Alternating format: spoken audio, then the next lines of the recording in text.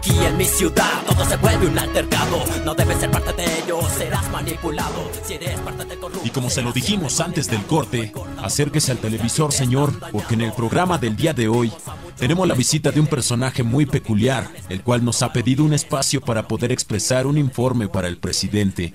Y bueno, vamos a ver de qué se trata. Demos un fuerte aplauso a Séptimo.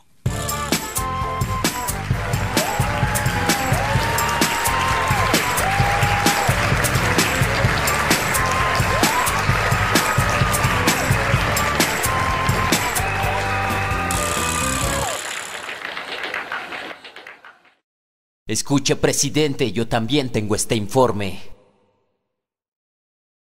No es justo que hoy los niños sean tratados como hombres, que ya no se respete a los adultos y mayores, que en vez de ayudarnos nos vean como mediocres y que en México el más rico siempre abuse de los pobres. Estoy harto de siempre tener que cuidar mi espalda porque siempre hay delincuentes que andan sueltos en las cuadras. Hay mucho malviviente y asaltantes que nos matan cada vez hay más afuera y la gente está asustada. Me siento deprimido porque miro calles sucias, repletas de basura porque el bote no se usa. Gente cerda nunca entiende aunque le pongan una multa multa me recuerda a mi gobierno porque miro y me repugna.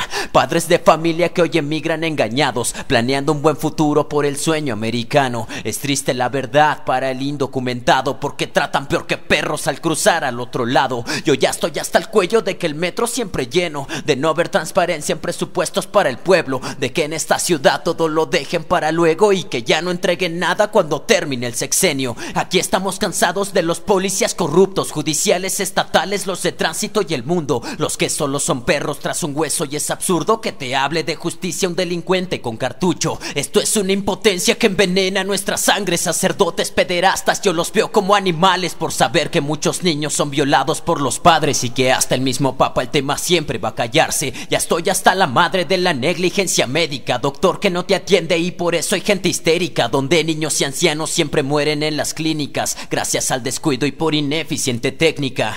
Los maestros sin estables hoy se ponen a dar clases. Muchos consideraban que eran como nuestros padres. Lo que yo ya no puedo es dejar de avergonzarme por saber que a nuestros hijos los educa un ignorante. Este es el país del arquitecto que es taxista, del de la carrera trunca que se ha vuelto un conformista. Licenciados y enfermeras hay millones en la lista, buscando un buen trabajo y pidiendo una entrevista. Usted sabe la causa de que muchos no votemos, pues antes la elección se mantenía en secreto. Ahora la corrupción la siembra el mismo gobierno porque hay sumas millonarias para el que resulte electo.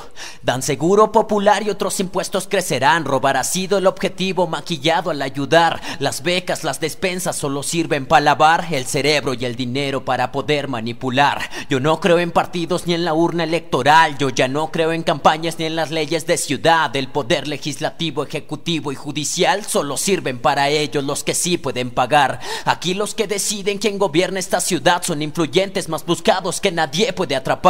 La Cámara, el Palacio, incluso nuestra catedral son controladas por el narco y nadie lo puede negar. Todos nos quejamos del burócrata inconsciente, gabinete del gobierno siempre ha sido incompetente, nunca han visto por el pueblo y al contrario siempre mienten. No me diga que no, rata mayor, el presidente. No te dejes engañar. Yo nunca he renegado del país donde he crecido. Por quien siento vergüenza es por quien lo ha destruido. Podemos arreglarlo siendo un pueblo más unido, cambiando cada uno y por el bien de nuestros hijos.